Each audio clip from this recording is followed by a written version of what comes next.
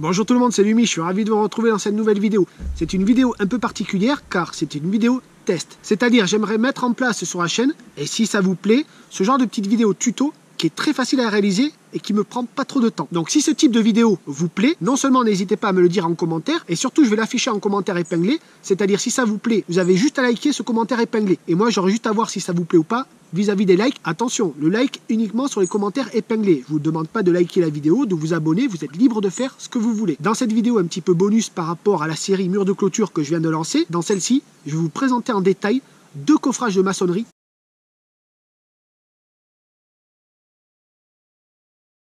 facile à réaliser et très utile. Première des choses, il faut savoir qu'en coffrage, il y a deux règles d'or. La première, coffrage, décoffrage. Je suppose que comme ça, ça ne vous parle pas. Alors on va faire un petit dessin. On a dit coffrage égale décoffrage. C'est-à-dire,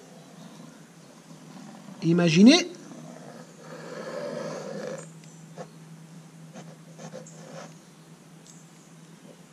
j'ai une terrasse à réaliser. Bon, mon crayon ne marche plus, j'en prends un autre, au pif, allez. Donc j'ai une terrasse à réaliser. Et dans cette terrasse,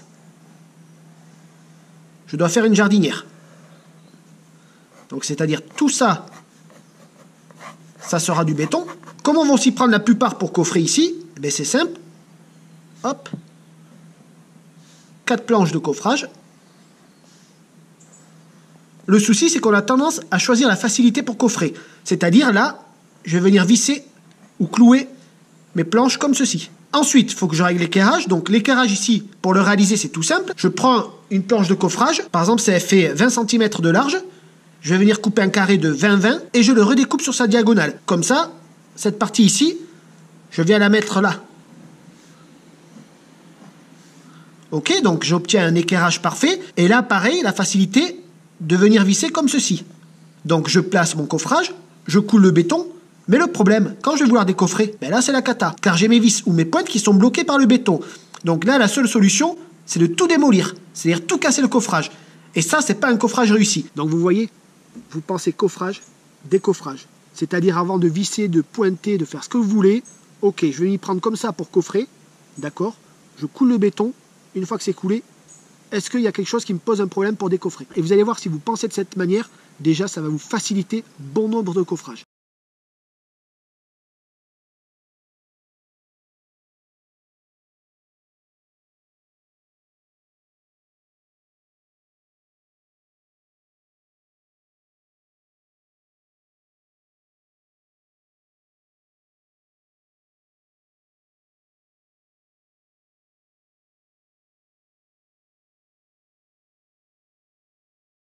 Voici ce que c'est qu'un redent. En fait, quand vous avez un terrain naturel en pente, il faut toujours que vos fondations soient de niveau. Le coffrage qui nous intéresse ici, c'est celui-ci. Donc là, j'ai mon cordeau qui sert à implanter ma fondation, mon mur de clôture. Première étape, on va devoir implanter le redent sur le béton de propreté. J'ai tracé sur mon cordeau l'arrêt de mon redent et ensuite je viens le reporter sur le béton de propreté. Donc ça nous donne quelque chose comme ça. Attention, je le trace sur toute la largeur de la fondation. Deuxième étape, je vais venir tracer cette partie ici. Donc là, je vais venir tracer l'aplomb et le niveau. Je vais le tracer des deux côtés de la fondation. Petite astuce ici très simple, j'ai tracé à la bombe traçante à peu près l'endroit où ça tombait. Et ensuite, avec un niveau à bulle, je suis venu reporter l'aplomb et le niveau. Alors l'avantage de la bombe traçante, c'est une fois que vous en avez mis un coup sur la terre, avec une pointe, c'est très facile de tracer. Donc là, on a fait le principal, c'est-à-dire le niveau et l'aplomb. Troisième étape, on va avoir besoin d'outillage et de matériel. Pour l'outillage, on va avoir besoin d'une meuleuse, d'un niveau à bulle, d'une visseuse, une massette, une scie circulaire ou scie égoïne. Pour le matériel, on va avoir besoin d'une planche de coffrage, de 4 ronds à béton avec un diamètre minimum de 10 mm. La longueur à déterminer selon vos besoins. Et 4 vis ou pointes. Moi personnellement j'ai appris à la pointe, maintenant je visse systématiquement. Quatrième étape, je vais découper la planche de coffrage. Alors là, il y a deux possibilités. Regardez, la première, j'ai la terre de la fondation qui se tient bien, donc je suis quasiment d'aplomb, je coupe à 90 degrés. Des fois, il arrive que la fondation soit en biais, comme ici. Là, vous allez avoir deux possibilités. Soit vous laissez la planche à 90 degrés et ici vous viendrez combler avec un morceau de parpaing ou ce que vous avez pour boucher, ou ce que vous avez sous la main pour boucher. Deuxième possibilité, couper la planche aux dimensions exactes. À vous de voir ce qui vous convient. Cinquième étape, je vais venir positionner ma planche de coffrage sur mon implantation.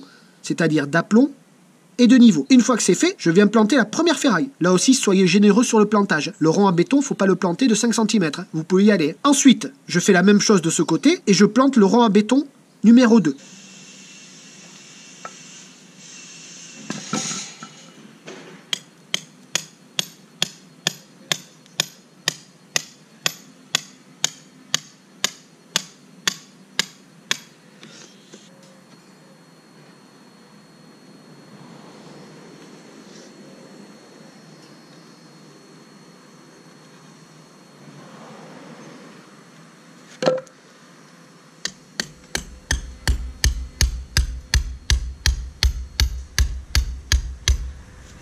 Petite astuce, ici, je règle à l'œil parce que j'ai l'habitude, c'est mon métier.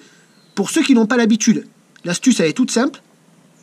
Vous vous récupérez un morceau de lito que vous venez faire coulisser le long de votre planche. Par exemple, si vous avez une fondation qui est légèrement évasée, ici vous venez faire coulisser votre lito pour vous reprendre pile poil sur l'aplomb et le niveau. Une remarque pour la longueur des ronds à béton. Peu importe, parce que l'effort va se jouer ici. Ok?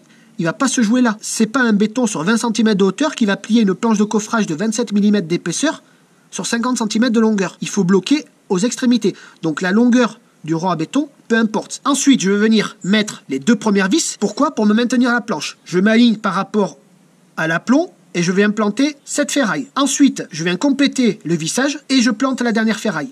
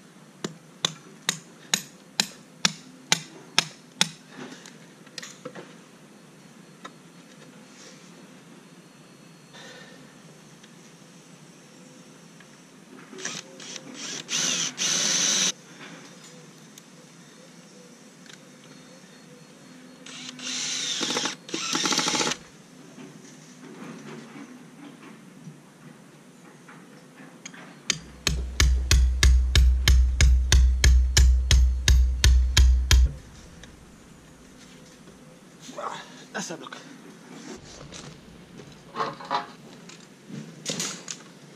Petite astuce ici, pour aider au décoffrage, les deux rangs en béton inférieurs, ces deux-là, je les plante à 45 degrés et pas le long de la planche de coffrage. Le béton ici, quand il va venir pousser sur la planche de coffrage, la poussée sera plus forte sur le bas de la planche que sur le haut. Ça va me faciliter le décoffrage, c'est-à-dire je vais venir taper avec ma massette et en les positionnant de cette manière à 45 degrés à peu près, hein, eh ça va me faciliter le décoffrage.